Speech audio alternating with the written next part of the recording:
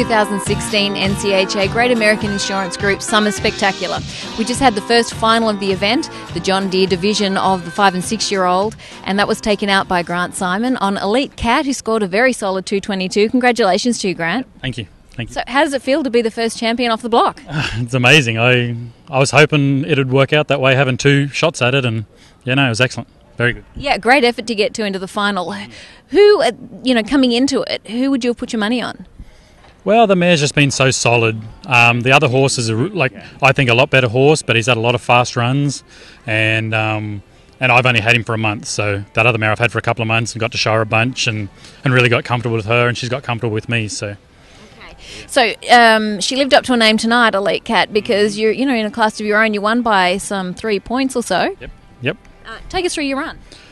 Well, just being second in the in the draw, got to cut the cows that we wanted. Um, they settled really soft, and then the first horse they stung up a little bit, so we cut the the softer end of what we liked, and they were excellent. Got got got them cut clean, got them cut good, and um, that mare was just really smart and going hitting that, them stops and getting comfortable in the ground. So that that draw helped more than anything.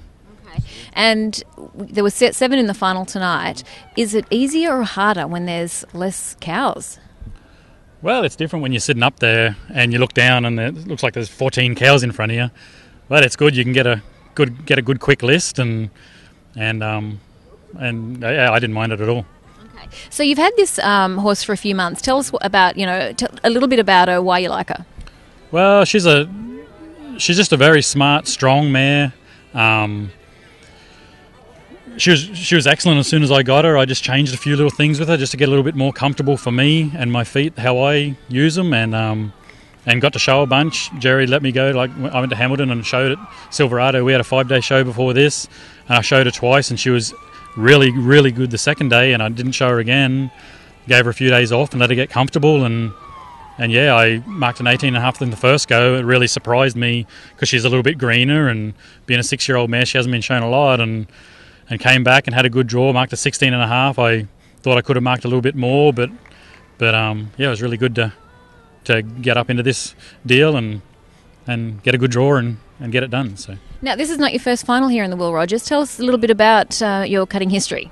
it's been a while. When I was at Slate River, I won the I think it was a Super Stakes Limited in like 05 and um, I made a couple of couple of futurity finals right then.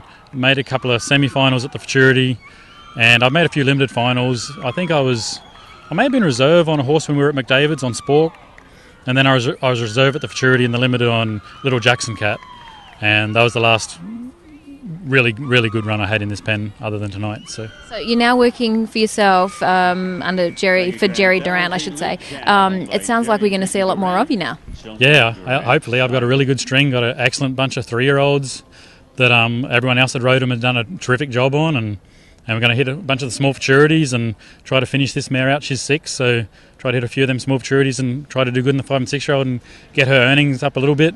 She's a full sister to a, one of Jerry Durant's um, really good brood mares, a mare called Swiss Cat. So he's always really loved her and wanted to see her do good, and maybe we'll just do it the last end of a six year old year. And I think she'll be a good Mercury horse next year. So Perfect. Thanks for joining us. yeah, thank you.